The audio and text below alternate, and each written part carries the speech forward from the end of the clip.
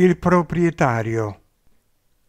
Nell'ufficio vi era Sallusti, tondo come un porcellino, le guance rosa e i capelli di zucchero filato, il proprietario della banca privata.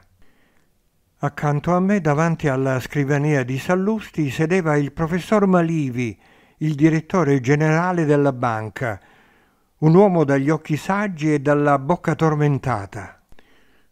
I miei occhi acuti percorrevano l'ufficio lussuoso, attribuendo ad ognuno dei due la mia etichetta.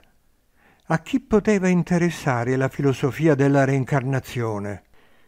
Sapevo che in teoria ad ognuno poteva interessare, perché siamo tutti dei reincarnati, ma in pratica gli interessati sono assai pochi. A Sallusti, il proprietario della banca, la reincarnazione non poteva interessare. Il suo scoglio era rappresentato dal suo amore per il cibo e per il denaro. Anche a Malivi, il direttore della banca, la reincarnazione non poteva interessare a causa della sua saggezza limitata al denaro. Ricordai che stavo lì per chiedere del denaro e allora come mi capitava spesso, sbagliai, ammesso che possa esistere lo sbaglio, e con la mia forte voce caparbia dissi Voi mi conoscete da molto tempo. Se non mi date il denaro aiutandomi a risolvere il problema contingente della mia azienda, in una prossima incarnazione subirete un'incomprensione analoga a quella che fate subire a me adesso. Che significa? disse Sallusti dalle guance rosa. Eh, che significa? confermò Malivi assestandosi più comodamente nella poltrona. Significa che tra me e voi adesso c'è uno scontro di io.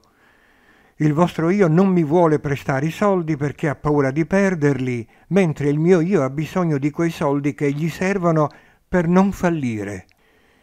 E allora disse il proprietario della banca, allora accade che nessuno dei vostri due io vuole tener presente il fatto che il mio io, che voi conoscete da molto e che vi ha sempre restituito il denaro che mi avete imprestato, ha un bisogno assoluto di aiuto. Il proprietario della banca annusò furtivamente del tabacco.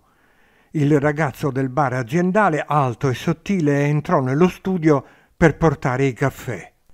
Ma Livi mi chiese ma perché uno dovrebbe credere nella reincarnazione? Perché l'essere umano è uscito dall'infanzia spirituale e ha bisogno di un credere che gli spieghi la vita, dissi attento. Il direttore Malivi mi rivolse un arcigno sorriso di rassegnazione e si abbandonò alla mia semplice eloquenza. Io ne approfittai per continuare. Ad un certo punto della sua evoluzione uno può credere alla reincarnazione quando la sera accende la televisione per guardare il telegiornale e comincia a chiedersi è passato un altro giorno della mia vita, ma che è passato a fare? Allora è pronto per accettare la reincarnazione che, diciamolo, spiega tutto. E se io non ho bisogno di credere nella reincarnazione, disse Sallusti, allora continua a vivere nella sua vita come uno straniero, come uno straniero spirituale, dissi. Il ragazzo del bar era rimasto ad ascoltarmi.